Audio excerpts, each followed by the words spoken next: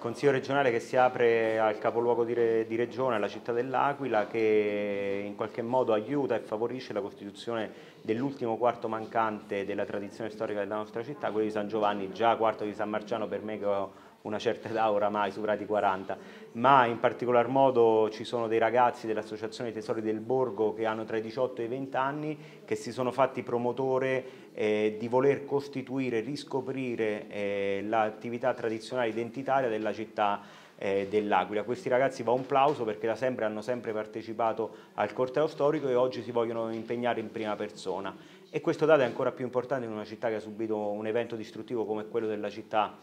dell'Aquila del 2009 e in qualche modo questi ragazzi che oggi hanno 18-19 anni vogliono anche riscoprire gli angoli, i sapori, i profumi di una città che sta rinascendo. Identità, tradizione e appartenenza sono i caratteri che non possono essere snaturati e non possono essere cambiati, ce l'ha dati la storia, sta a noi valorizzarli e a renderli attuali al contesto di oggi e quindi un plauso a questi bellissimi ragazzi che si sono messi in discussione in prima persona per poter rilanciare la nostra città nel prossimo futuro.